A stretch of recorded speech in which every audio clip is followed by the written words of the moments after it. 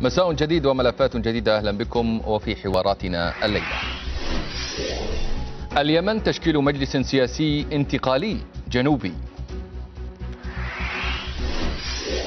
ومشروع البدر الشيعي خطة إيرانية للتمدد في المنطقة. المساء من سكاي نيوز عربية مع فيصل بن حريز. أعلن محافظ عدن السابق عيدروس الزبيدي تشكيل هيئة رئاسة المجلس الانتقالي الجنوبي في اليمن وتضم الهيئة 26 شخصا من بينهم محافظو محافظات الجنوب لإدارتها وتمثيلها داخليا وخارجيا. تتولى هيئة رئاسة المجلس الانتقالي الجنوبي المهام والاختصاصات التالية استكمال إجراءات تأسيس هيئات المجلس الانتقالي الجنوبي. اثنين إدارة وتمثيل الجنوب داخليا وخارجيا. ثلاثة أية مهام أخرى يصدر فيها قرارا من رئيس المجلس. مادة ثلاثة يستمر الجنوب في الشراكة مع التحالف العربي في مواجهة المد الإيراني في المنطقة والشراكة مع المجتمع الدولي في الحرب ضد الإرهاب كعنصر فعال بهذا التحالف.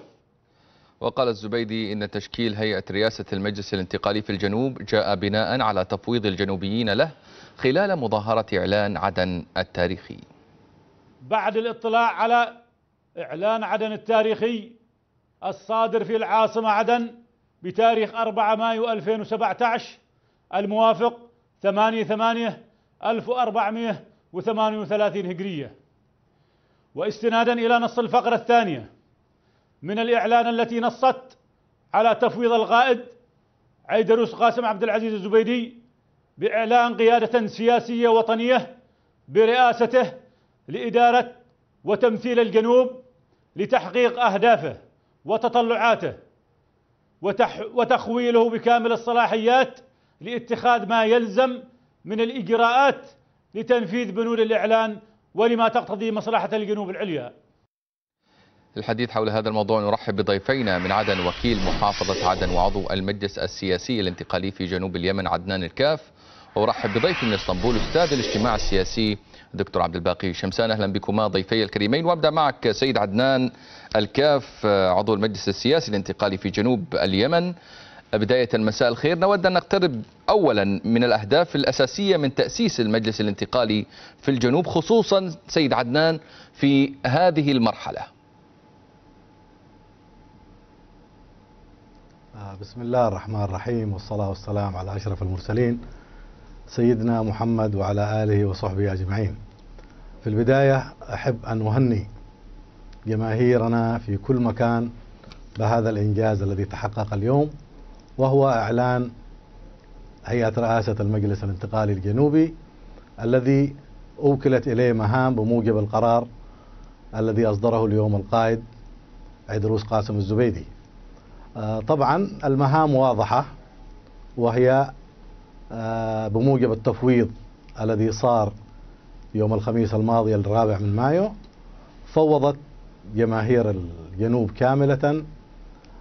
القائد عيدروس قاسم الزبيدي بإنشاء هيئة رئاسية تقوم بإدارة المرحلة الجاية.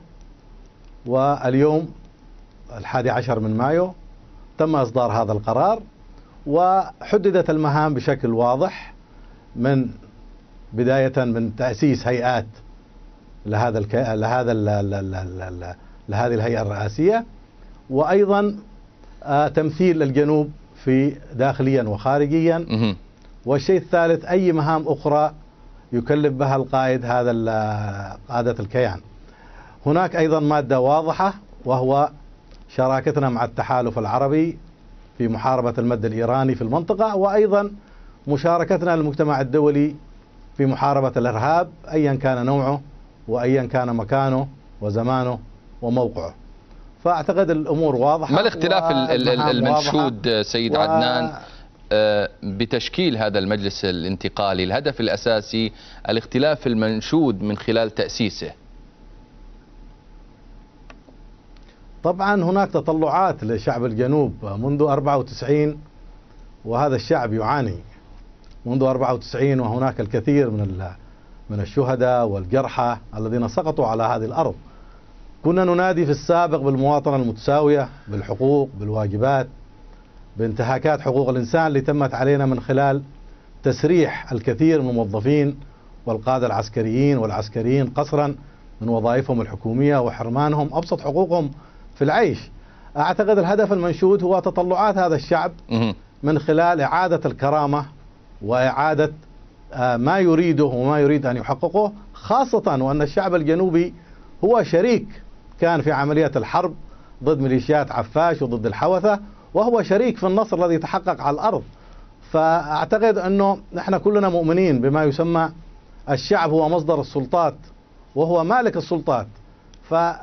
فيجب أن تلبى طموحات هذا الشعب من خلال ما يسمى بال- بالقيادة السياسية التي تستطيع أن تلبي هذا الطموح وتستطيع أن تضع جميع تطلعات هذا الشعب على طاولة من المفاوضات والمحادثات حتى تكون طيب. المخرجات تلبي طموحات وتطلعات هذا الشعب دكتور عبد الباقي آه، مساء الخير آه، يعني الجنوبيين يرون أن من حقهم إذا إذا ما وصلوا إلى إجماع أن يكون لديهم مكون سي- سياسي يمثلهم ويعكس خياراتهم مثل بقية المكونات السياسية في الشمال. كيف تنظر إلى هذه الخطوة دكتور عبد الباقي في هذه المرحلة؟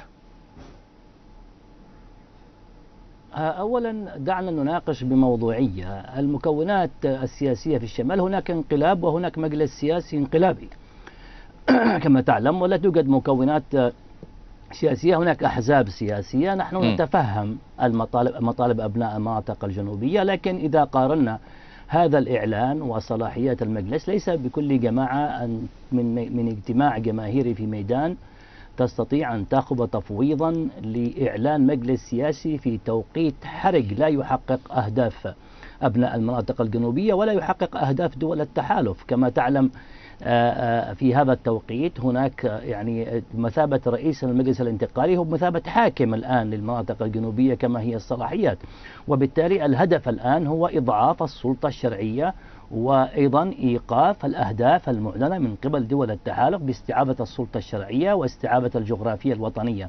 لا يمكن آه، في هذا التوقيت آه، خلط أوراق. نحن نقترب من آه، استعادة ميناء الحديدة وتحقيق إعادة الساحل الغربي. وهناك آه، المركز اليمني السيادي صنعاء آه، ما زال تحت آه، سلطة الإنقلابيين. ومدينة عدن الآن آه، أصبحت مدينة غير مهيئة كعاصمة مؤقتة وطاردة لكل ما هو غير جنوبي. نحن كيف يمكن لدول التحالف ال- آه، الآن آه، أن تتفهم هذا الإعلان؟ أعتقد أننا نحن نتفهم